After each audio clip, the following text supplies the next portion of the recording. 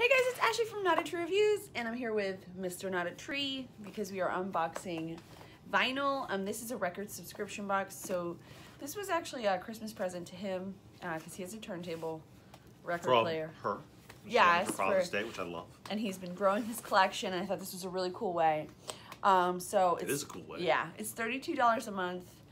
Um, I'm gonna let you tell them all about how you signed up. So, because I yeah. didn't do it. No, so uh, she got me this great uh, gift card, so I got a free month subscription. And you go in, and the first thing you do is uh, connect whatever social media you use, so they can actually see it. Uh, I use Spotify a lot, so that's a, a music service. Uh, and so they're able to see all the playlists I've made to get a feel for the type of music that I like. Um, and then they go through and they ask you questions about uh, records. What are some of the favorite your favorite genres? You have to pick at least three. Then they say, um, what are some of your favorite bands? And then you list the bands that you like. Then they say, um, what are some of the records you definitely don't want Right. uh, in your collection? What did you say? Um, Britney Spears. um, I would say yes to Britney Spears. I would not. Personally, but it's not my. I, That's not yours. it's not mine. I don't know what to tell you.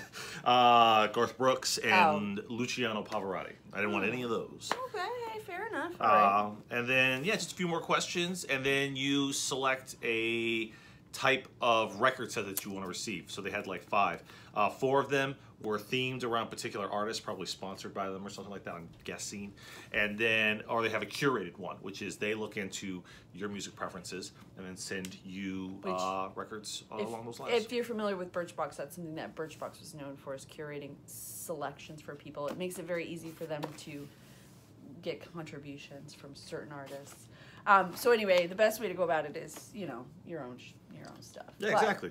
Um, anyway, so this is something I will link down below to our full review. Where we'll go in depth with each of these. Which we won't be able to do until we listen to all three records. Yeah. Um, but we'll also um, I'll link down below to my VNYL. I have an affiliate link, I or whatever, you know. So whatever. All right. Now, full disclosure, we have I opened it immediately because I love it and I want to see my records. That's the disclosure. that was you know why not right? YOLO. Um, so we know what's in here. Um, to also before we start, we've never heard of any of these bands. Like you haven't. I've never.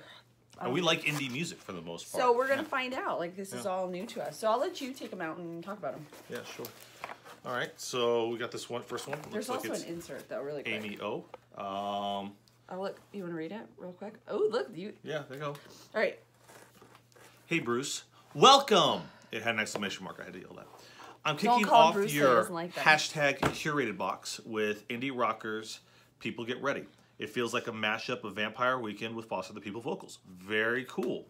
Uh, the next, uh, Elastic, a result of a strong desire to pump up the volume by the lo-fi indie rock singer slash songwriter Amy O. Oh, now I'm excited about this. Finally, In Rounds, a dark and melodic rock-driven folk album from Camp Dogs. The singer Jess Price's voice will make you melt. Enjoy Alexandria. Uh, then some numbers. I don't know what that those means. numbers are, but- that's really It's not a telephone number. so that's cool. Now, I we I had not seen this yet. well, I could hear. It. So now- this is what I do. There you go. She's good. so this is the Amy O album. This is the first one that they talked about. Yeah. Uh, which is a little more soft. Vampire Weekend. Yeah. No, this is the second one. This is like a. No, it's not. It's the first one. Amy O's the first one. Oh, Uh, Make me wrong. Should read it again. Vampire Weekend for Foster People. Oh no, you're right. It's People Get Ready. She's right. I was wrong. That's normal in our relationship.